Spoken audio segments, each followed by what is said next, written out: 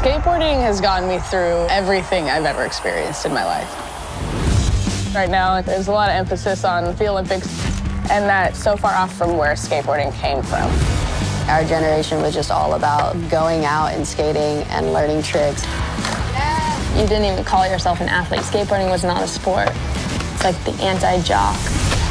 It's for everybody. Oh Lee, for years, was the star of women's skating. Feels like you're put in this category. Okay, like the ladies category, and you're like, no, we're just skateboarders. It would be really special for a person like me just to be visibly queer on such a global scale. I think that they're totally capable of doing it. The question is, is like their heart in it. Being trans, I feel really out of place. He has to choose between being his authentic self and his career that he's worked so hard for. Everyone's like, it's the Olympics. It's just one year. If I wait one more year, there might not be any more Leo. No choice will ever be harder than this one. I've been so influenced by sponsors for so many years. What I really want right now is to just focus on skating because I don't know what's going to happen.